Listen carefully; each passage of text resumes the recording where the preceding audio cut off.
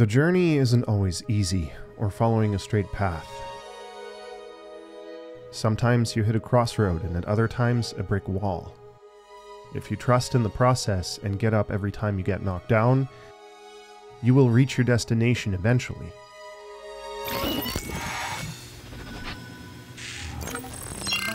Hey everybody, it's time for another devlog episode about Go See a Knight's Tail, a side-scrolling puzzle platformer that follows the journey of a dog in medieval armor on his quest home. That's right, I finally figured out a working title for my first game. I don't know if the name will stick or be replaced down the line, but for now, I think it perfectly captures what my game is about. While also dropping it close to home, and close to home is exactly the brick wall that I hit. When you make a video game about a character that is based in part or completely on someone in real life, in my case, Tyrion, our best friend and family member, and then they aren't around anymore, it is really difficult to go back and continue with the project because you're reminded of them all the time and it feels like they're still around when they're not. And at the same time, it is also strangely therapeutic because you're working through that grief. It's an extremely personal story, so I, I'm not going to get much further into it. But all that said, that is the massive brick wall that I hit grief. And I'm still trying to get over it and break through it. And it's a process. The game from the start was always intended to honor Tyrion and celebrate who he was in life and how he was in life and share that with everybody. So I thank you all for the continued support and for sticking around during the extremely long downtime since the last update. There have been a lot of things that I didn't touch on in the last devlog episode and the one before that, and some updates that happened since then. So let's get back to it. So something I knew right from the start that I wanted in the game was a simple interaction mechanic that would allow the player to interact with things like treasure chests, puzzles, NPCs, potions, and so on. To quickly workshop this feature, I modeled a very simple signpost in Blender and popped that into Unreal to pimp it out with a few things, like a floating arrow that shows up when the player is too far away, and an outline when the player steps into range of an interactable object. Now of course, I needed something to pop up so that the player would know that they interacted with the thing, and as you saw there, text boxes is what I did. So I hopped into Photoshop and created some text boxes, did the whole widget thing, with the buttons and whatnot, and with that I had my very first fully interactable object. And this goes without saying, of course this is all still very early days, and the way this looks and maybe even works can still change. Before moving on to the next chunk, I also made a control volume that would pop up a text box as you walk through it, and then applied that to a very rudimentary NPC. And since we're talking about the NPC, well, there isn't much to say outside of the plane being representative of the character animation sprites down the line. And the arrow helping me in figuring out at what point that sprite would have to flip horizontally in order to look at the player. If there are better ways of doing this, definitely feel free to always let me know in the comments down below because I'm still very new to Unreal Engine and doing any of this. Next, let's talk about the camera in the game. It is literally the bane of my existence and such a fickle thing to get right, and I'm dreading going back to it because I know I will have to. Anyways, in my first level attempt, I had already begun implementing a trigger volume that would change the distance of the camera to Tyrion. While that did the trick, I realized that this system needed a complete overhaul. So, I began the process by updating the camera with an asset from the Epic Store. This new camera allowed me to control the horizontal horizontal lag separately from the vertical lag. This is important to me because I don't want the camera to follow the player vertically when they're jumping, unless they get to a cliff, at which point the camera will need to.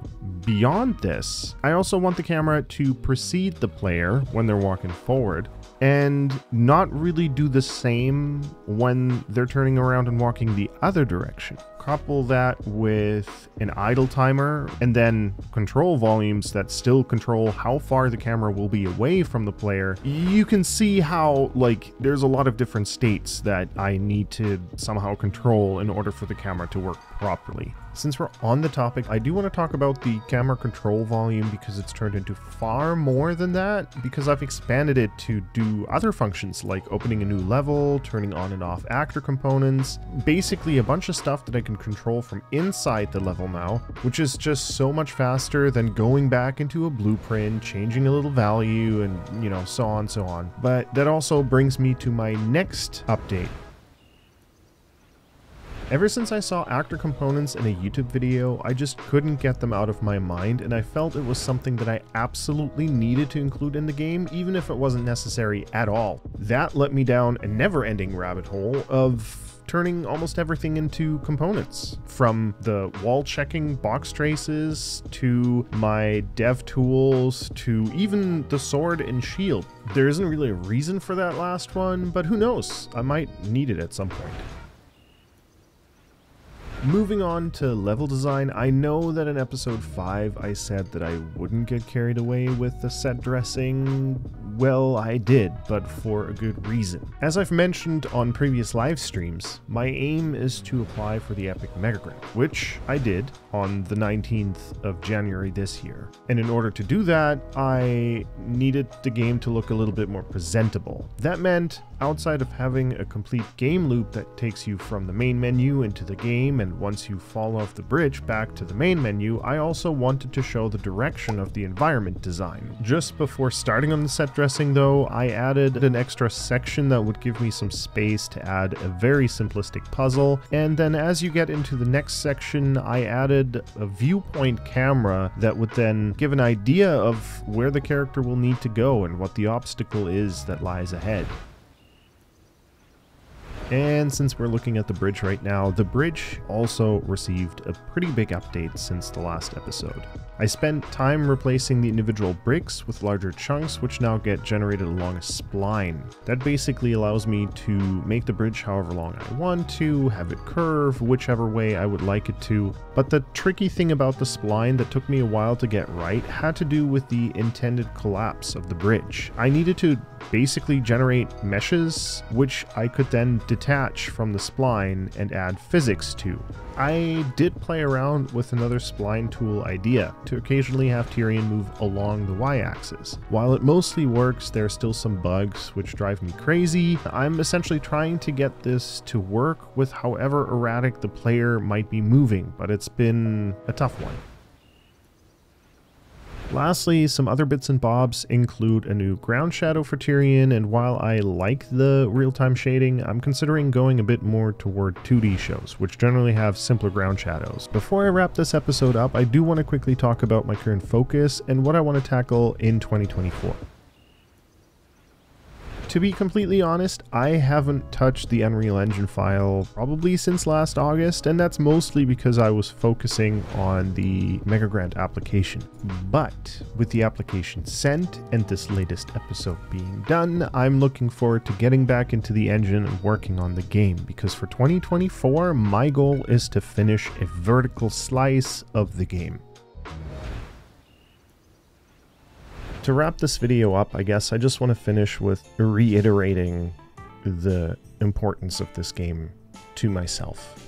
This game has always been intended to be about Tyrion, to honor him and to share him with everybody, and to make him live on forever. And even though I feel like I might have been naive for thinking that he would still be around when I release this game, you know, him not being here makes me just that much more motivated to actually fully commit and follow through on this. And so I just want you to know that no matter how long it might take for me to upload another devlog episode or release this game, I fully intend to finish this game, to release it, to allow everybody to experience what Tyrion was like, to build a companionship with him and guide him through his journey but I also intend to document that process and share it with everybody. Just keep that in mind if it has been a while since the last episode.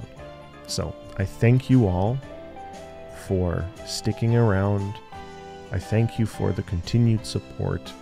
And I want to give a shout out to Tristan, Captain Poopy Bum, and Whimsical Wisp over on Patreon for spending your hard earned money on supporting me. Thank you so, so much. And with that, I wish you all a wonderful day, night, morning, wherever you are, and I will see you all in the next video.